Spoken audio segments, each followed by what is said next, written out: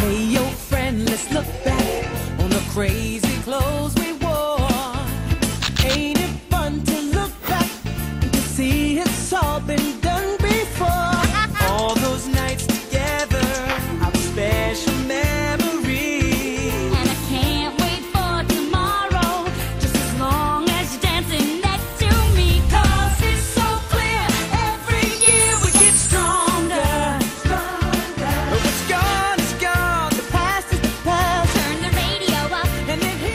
que as imagens da